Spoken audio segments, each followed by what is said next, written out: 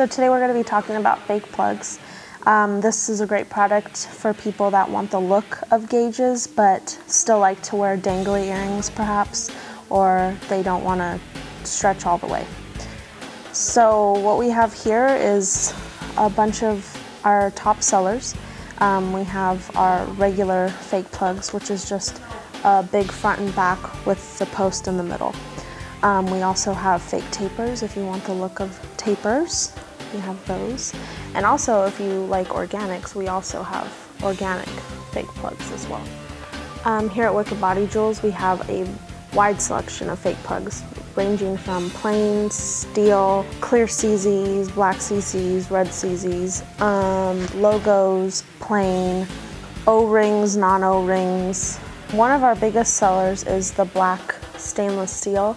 Um, it gives you the look of a zero gauge stretch without the stretch and it's stainless steel which is great to wear um, for every day.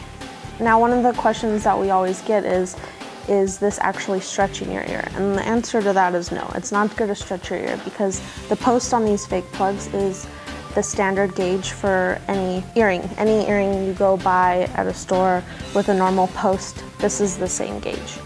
So you will not be stretching your ear. If you'll have a normal piercing, um, you can still wear your dangly earrings, your, and any other kind of earring.